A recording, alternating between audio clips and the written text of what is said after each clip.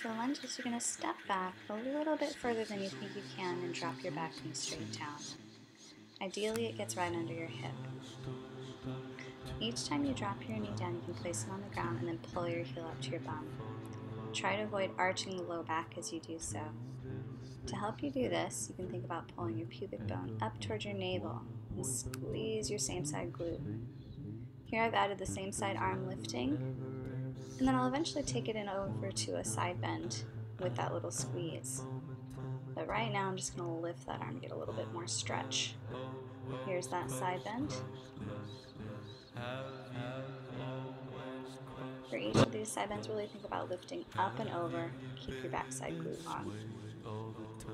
Go for a nice deep quad stretch. Again, trying to level out your back, not letting it arch too much. Switch sides, we're to stand back up, legs together, other foot goes back. Same thing, knee drops, mostly straight down. Pull the heel up towards your bum. That heel lift needs to be a very, very active hamstring and glute activity. So you're bringing pubic bone up toward the navel, working on your balance. This is active flexibility to open the front of the hips so we can get nice long lines in the air. We're to add that arm up. You can add it at any time. And then we can even think about getting into that nice stretch. So on that fifth one, we hold down. And take it into a side bend. Feel free to use your hand to support you. Again, it's a sense of lifting up and over, pulling your belly button deep to your spine. Deep quad stretch. Turn on your glute. Same side being stretched. Avoid arching the back.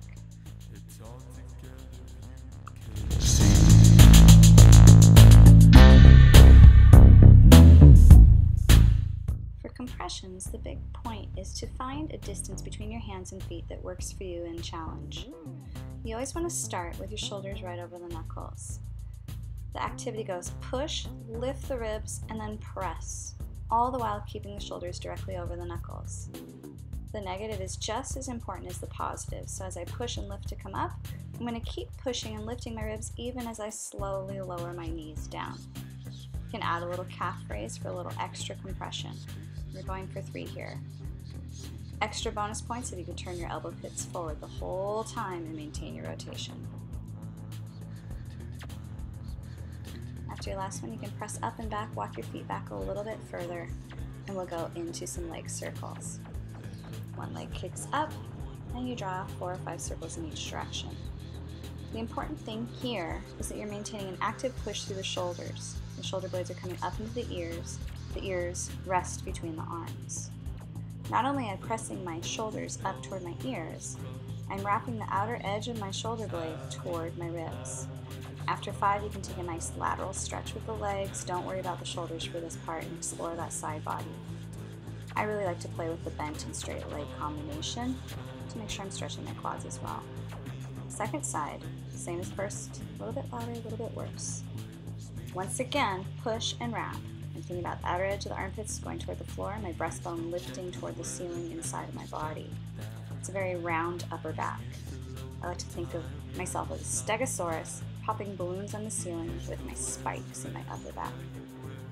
Again, we're going to take it into that side stretch, up and over. You get to walk that opposite arm hand back with a little more support and noodle around a bit. You're just trying to limber up anything that feels tight. You can see for a lat stretch, you're going to sit back in the child's pose, walk your hands as far in front of you as you can, bringing your shoulder blades up into your ears. Palms toward each other, thumbs up, elbows straight. Wrap your armpits toward the floor and then suck your breastbone up and away from your thighs. Keep a sense of heaviness in your sitting bones back and down past your heels. This is an active stretch. Try and breathe into anything that feels tight. Space is